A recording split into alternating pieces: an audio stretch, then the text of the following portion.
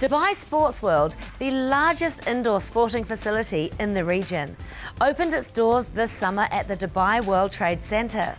We were at the media preview to check out what's on offer.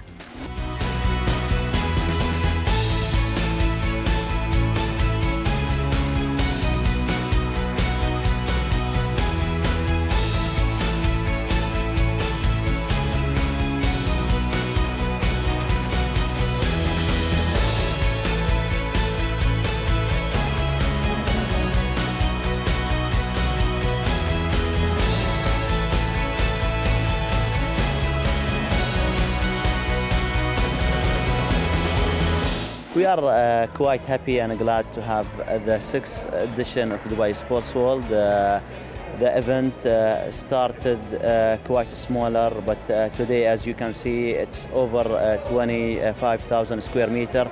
This year, we had to take another expansion due to a huge demand from the public. The, the number of attendees last year were close to 200,000. Uh, in terms of uh, number of uh, games that we have and number of pitches we have. Dubai World Trade Center has got amazing facilities and we have equipped these facilities with ama amazing fields to allow public to enjoy their summer, to keep it very busy summer, healthy summer, to make sure that uh, they uh, enjoy uh, themselves and at the same time they stay fit and healthy.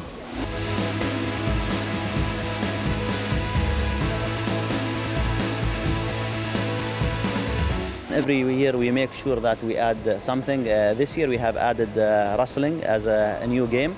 Uh, the usual games, uh, football is the most popular in this uh, uh, uh part of the world, and I think in worldwide football is, uh, is the most popular game. So we have dedicated eight football pitches between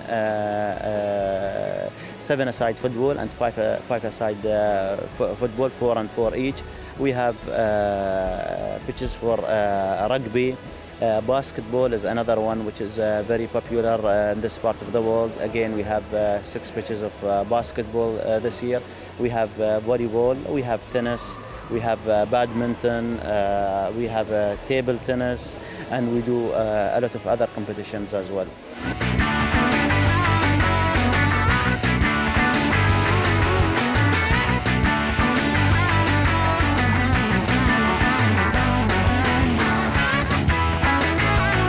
Ramadan is always a good time to uh, go back and uh, review the uh, health trend and uh, review our, uh, look at our lifestyle and uh, start. Dubai Sport World has seen many people starting doing, I would say, regular exercise for the first time and we hope this is, stays as a, a start point and then people continue uh, to do sports throughout the year. Uh, they come for the first time uh, here they uh, meet uh, the best uh, academies uh, in the region and in the world. We have some of the uh, best academies worldwide. They, they, they, they get a chance to, uh, to train in these academies and, and, and, build their career, especially with kids. we hope to see them all later on in Olympics and, and in worldwide competitions that, that, that takes place.